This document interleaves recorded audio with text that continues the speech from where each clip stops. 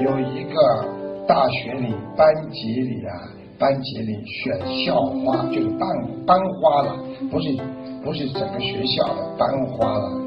结果这个班级有三十多个人公开投票，结果一个长得一般般的人，大家都好看的都在竞争，长得一个一般般啊不不不好看的一个女孩子叫小梅，轮到她发表演讲的时候，这小梅就站起来说：“同学们，大家想好了，如果你们给我个机会让我当选的话，再过几年。”你们所有在座的姐妹可以向自己的先生非常自豪的说：“我在上大学的时候比我们班花还要漂亮，不知道多少倍。”结果小梅全票当选。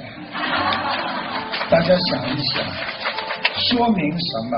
说明说服别人支持你，不一定要证明你比别人优秀。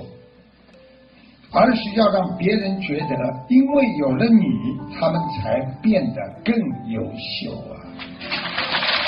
让别人知道，因为有了你，你更有成就感。所以学佛人要时刻让别人感到你的存在，让别人看到菩萨的境界。